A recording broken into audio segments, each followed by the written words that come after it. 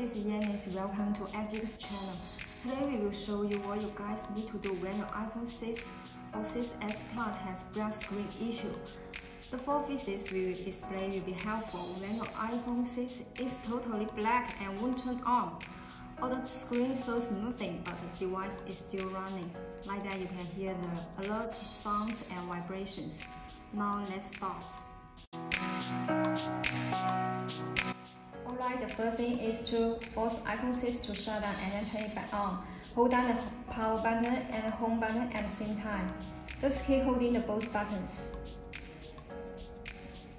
Now release buttons as soon as the Apple logo shows up. Wait a few seconds to let it boot time. Your iPhone 6 is now up and running. If you still see a black screen that will come on, try the second method. Use an Apple USB cable to connect your iPhone 6 to a computer and open iTunes or Finder. Next, you will need to put your device into recovery mode. Hold down both the home button and the power button. Continue holding the both buttons. Don't release the buttons when you see the Apple logo.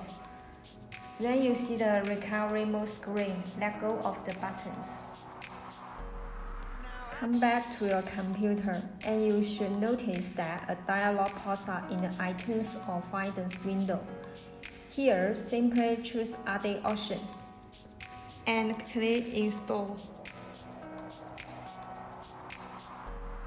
Now it will start reinstalling the latest version of iOS into your device. And your device will then restart and turn back on.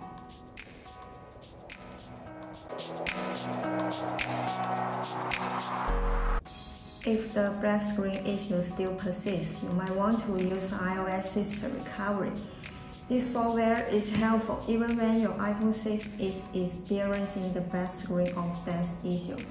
We have drawn the download link to iOS system recovery down in the description box. Now as you can see, the software is installed and open. And this is the main screen of the tool. To fix iPhone 6 black screen, click on More Tools. Next, choose iOS System Recovery Mode. Here, this is a page detailing what this application can do for fixing iOS system issues. Take a quick look on them and hit the Start button.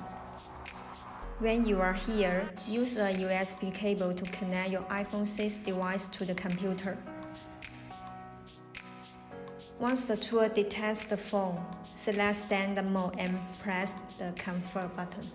You should see your iPhone model here and a list of iOS firmware package for the device. Choose the latest version. Hit the Next button. And it will start downloading the firmware.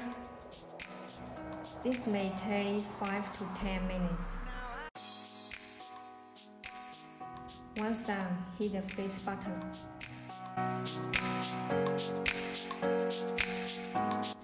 So if you try all solutions above and the screen is still black, it's probably a hardware issue. If you accidentally draw the device, then the device display turns black and won't turn on. Maybe the display connector comes loose. Instead of disassembling the whole device, we are going to show you a quick fix.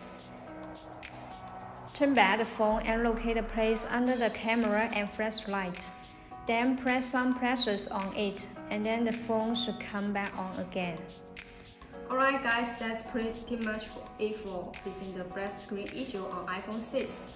Make sure to subscribe to Appgeeker, give this video a thumbs up, and of course, if you have any questions or comments for this video, feel free to drop them down below.